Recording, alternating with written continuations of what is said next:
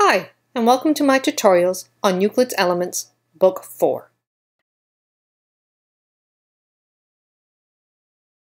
This video presentation is going to be on Proposition 8 of Book 4.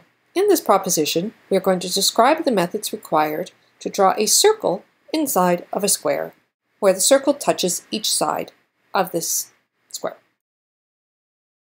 To do this, first we're going to bisect the two sides of the square at point E and at point F.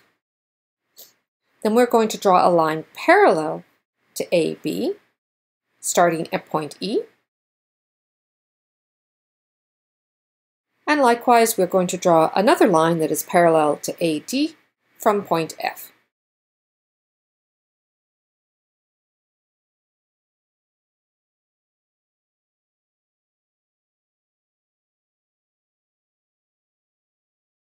And from here, we're going to take GE as our radius, and we're going to draw a circle.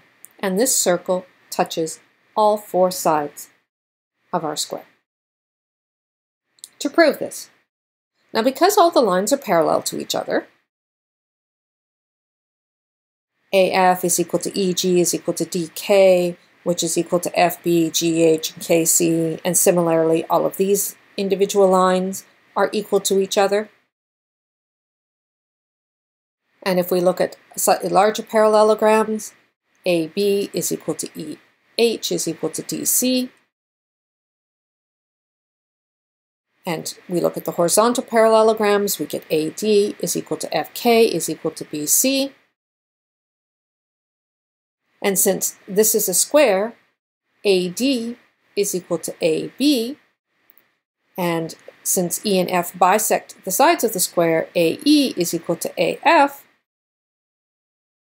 and with all these equilaterals and parallelograms and all these lines being equal, we have that GE is equal to GF, which is also equal to GH, which is also equal to GK.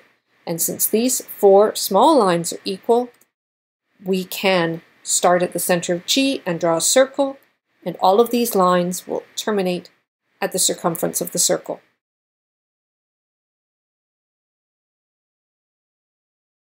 And since the angles E, E, F, and K, and all of these are all right angles, this being a right angle, then this line will touch the circle.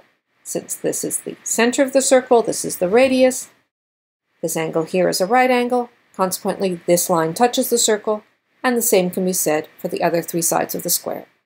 So consequently, or as a result, we have now shown that we have drawn a circle inside the square such that it touches each side of the square. And that concludes this video presentation. To see the next presentation, just click the next button.